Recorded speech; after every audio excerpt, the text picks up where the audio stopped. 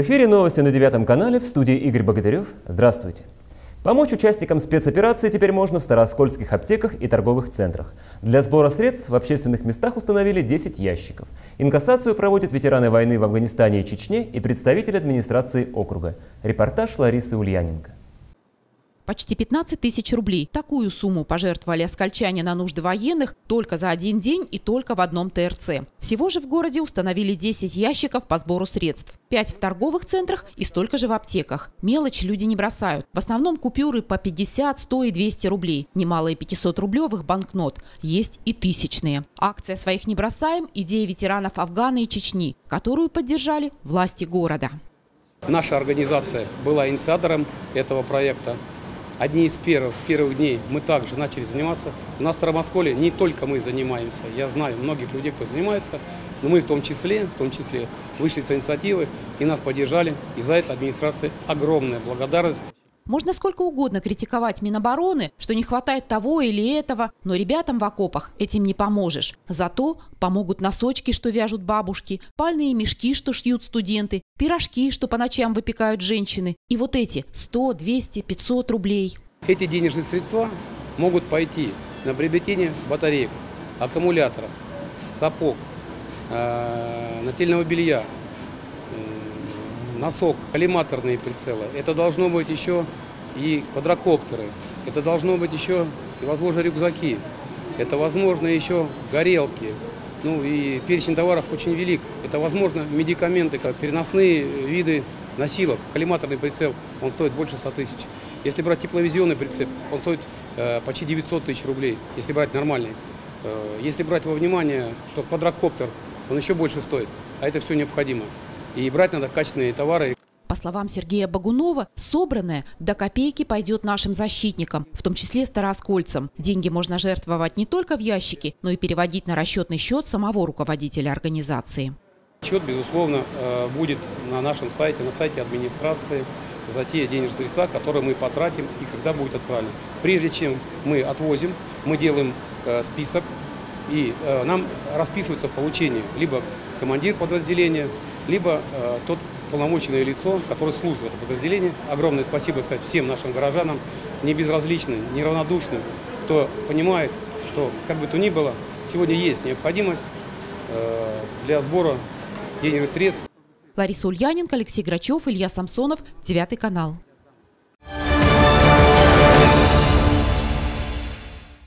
Администрация Белгорода ввела дополнительную выплату семьям погибших военнослужащих. Родственники получат 150 тысяч рублей на организацию достойного погребения. Средства выплатят, если участник СВО жил в Белгороде или имел регистрацию в любом населенном пункте региона и был похоронен в областном центре.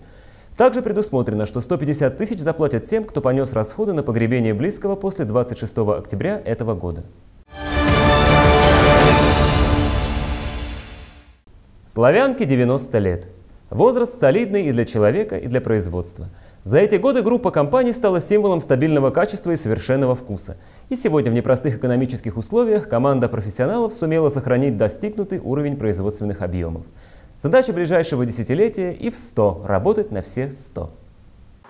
Известная сегодня на весь мир «Сладкая империя» начиналась с небольшого предприятия купцов Дьяковых из Курской губернии. До революции в Старом Осколе делали конопляное и ореховое масло, пряники, мармелад, джем, позже и рис и карамель. После национализации здесь стали выпускать леденцы и халву, а в войну пекли хлеб. Валентина Павловна пришла на фабрику в 1950 году. Фабрика – это мои университеты. Я пришла на работу в 16 лет. 40 лет я отработала, я не представляла, что я куда-то пойду работать. Понимаете? Мне нравилось все. Надо любить просто производство и производить продукцию, чтобы людям было сладко, приятно и радостно.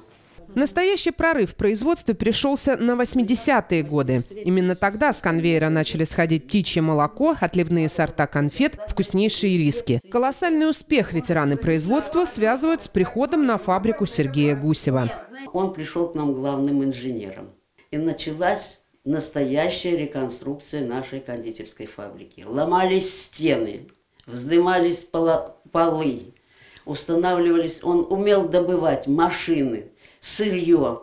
И у нас началась э, такая активная производственная деятельность, что мы тут прогремели на всю страну. Сергей Аркадьевич, как говорят, словно ветер не бросает. Если он начал, он будет делать до тех пор, пока сделает.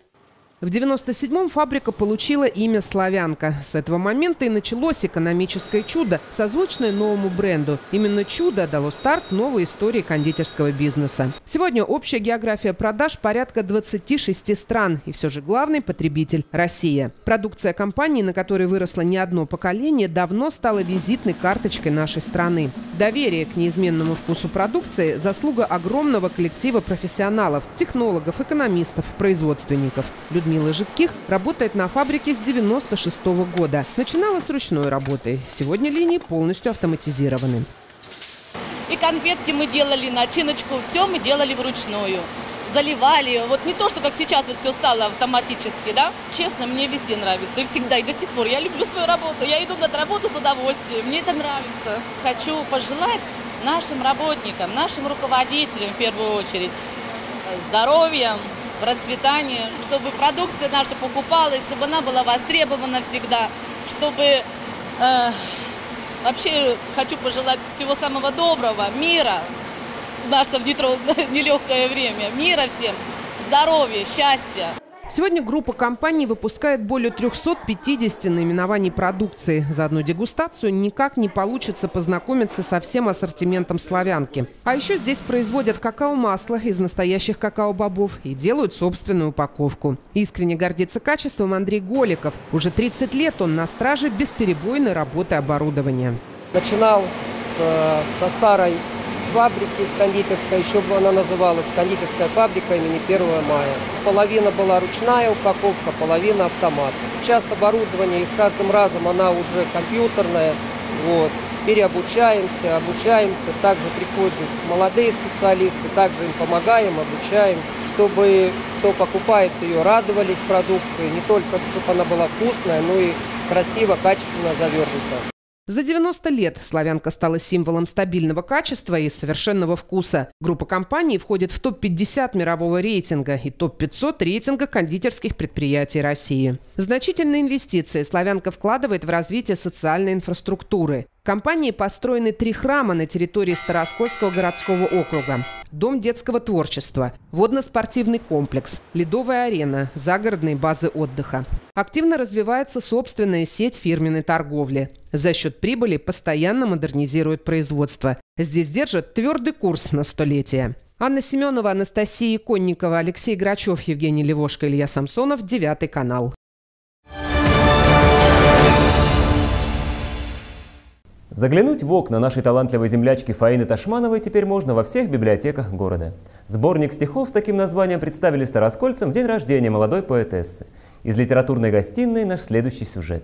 В зале библиотеки имени Пушкина в этот вечер нет незнакомых друг другу людей. Всех объединила Фаина Ташманова. Это она прославляет наш край на всероссийских и международных конкурсах поэзии. Это она вместе с мамой пишет песни для большинства культурно-массовых мероприятий области. Это она заставляет поверить в неограниченные возможности настоящего таланта. Замечательная красивая девушка, умница, талантливая, настоящий профессионал своего дела. Фаиночка, тебя знают далеко за пределами нашей замечательной Белгородчины, далеко за пределами Москвы, Московской области, Нижнего Новгорода, далеко за пределами нашей России. Твой талант, понимаешь, он олицетворяет всю нашу Белгородчину. Праздничный вечер представили сразу две книги Фаины – «Стихами» и «Окна». Удивительно искренние, трогательные строки пронзают своей глубиной.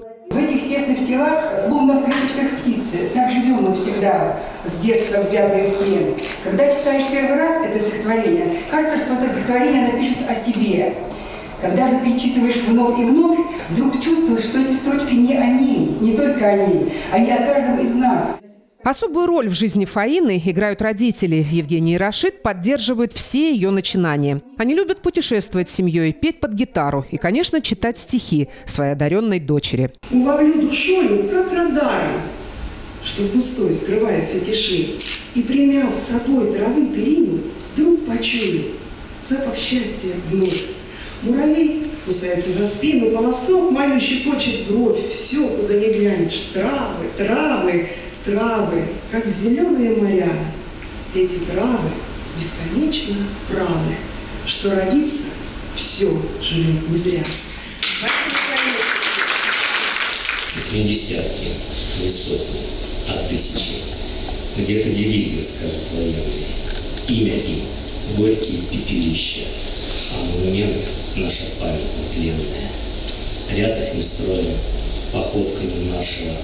Мирные хаты, деревни, селения бродят по небу сожженные заживо вместе с гражданским своим населением. До меня все сказали. Это стихотворение, опубликованное на странице Фаины в соцсетях, тут же разлетелось на строки, отозвавшись эхом в душах многих людей.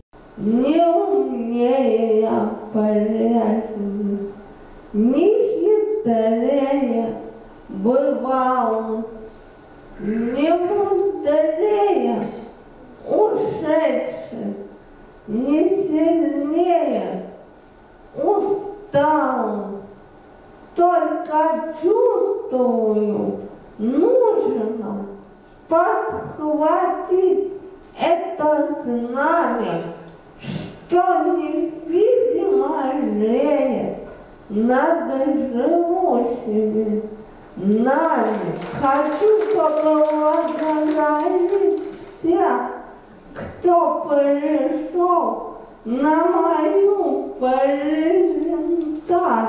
Авторский экземпляр книг особенно дорог Ирине Галиуловой. Художница уже не впервые иллюстрирует стихотворное издание Фаины Ташмановой. Говорит, претензий со стороны поэтессы не бывает. Иногда это даже смущает, потому что полный полет фантазии. Фаина легким языком говорит о сложных вещах, и тут нужно таким же легким, наверное, языком э, это все иллюстрировать. Подарили книги и всем гостям вечера. Фаина стала не просто моей подругой, коллегой, но и членом моей семьи. И как бы и они тоже считают нас уже своей семьей.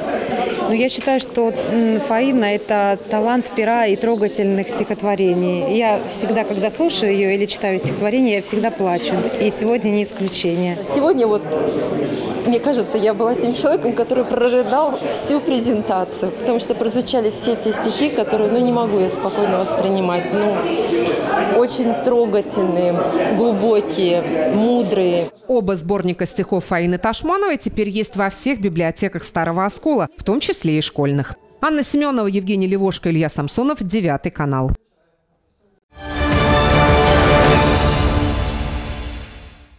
Струны русской души зазвучали в горняке. Концерт посвящен дню рождения Михаила Эрденко. Под аккомпанемент Староскольского сводного детского симфонического оркестра выступили звезды мирового масштаба. В Старооскольском детском сводном симфоническом оркестре 60 юных музыкантов. Самой маленькой скрипачке всего 9 лет, хотя обычно в оркестр берут не меньше 11. Маша Тарусова пришла в коллектив совсем недавно. Ходить я начала только в этом году, с 11 лет. Привел сюда мой педагог меня. И мне ну, вообще нравится это играть. Я, я всегда мечтала играть в оркестре. А, очень хотела. Я когда слушала, у меня просто у меня сердце в пятки уходило. Юные оркестранты выступали вместе с выдающимися музыкантами современности, известными во всем мире. Проект э, единственный в своем роде. Э, я сейчас поясню. Э, сводный симфонический оркестр в нашем облаке – это визитная карточка нашего города. И много концертов мы еще не так, потому что очень сложно создать программу. Это нужно длительные, долгие репетиции. Но мы стараемся, и сегодня для нас сольный, сольный концерт на территории такой отправной точкой является в дальнейшую творческую жизнь. Сцена Горняка в этот вечер была по-настоящему звездной.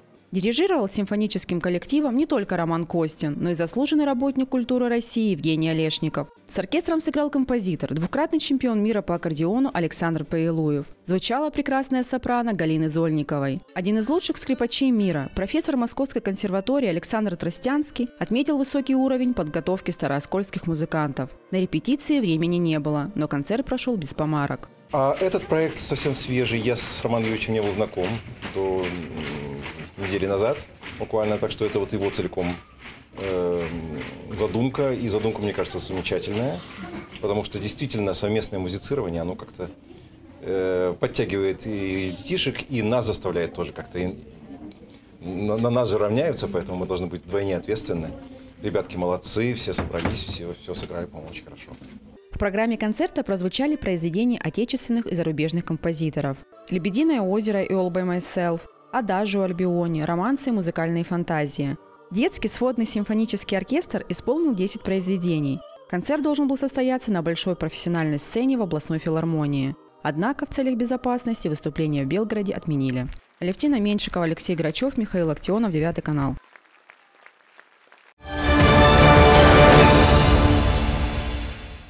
На этом наша программа завершена. Впереди прогноз погоды. Я с вами прощаюсь. Всего доброго.